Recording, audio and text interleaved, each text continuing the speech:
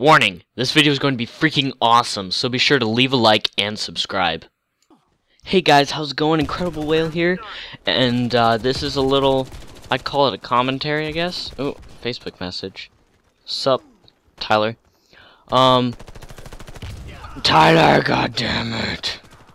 Okay, so hopefully without any more interruptions, um, I had, this is basically a commentary, um, I'm doing, I'm gonna start doing this, it's now it's a new thing, wanna kinda spice it up a bit.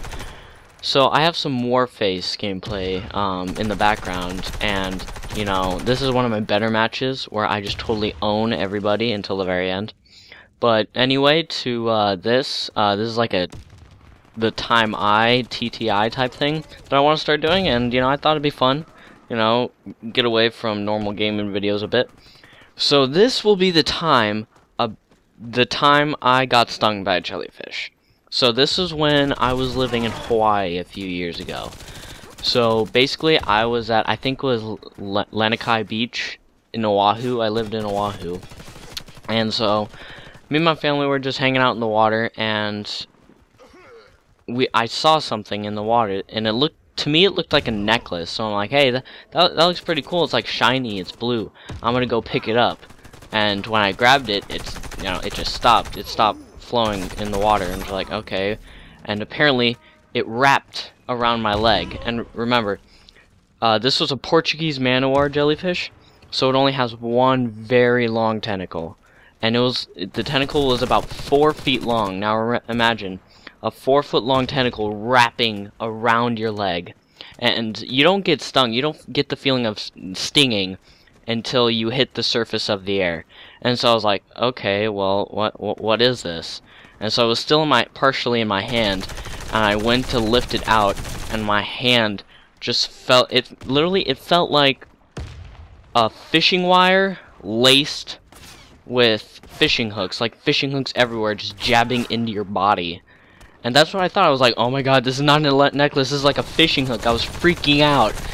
And so my dad came, I was screaming, and everyone on the beach was just going crazy, and he went to go rip it off of me, and he got stung as well, like, ripping it off of him, he got stung all on his chest. And then they brought me out of the water, and I looked down, and, like, there was just these, like, you could see the mark, it was wrapped around my leg, and it, it took maybe it took maybe two hours for the pain of the stinging to wear off. And uh, imagine two hours of feeling like there's fish hooks all in your legs.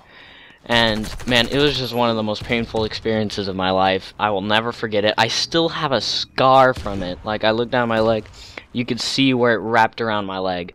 And that it's just crazy.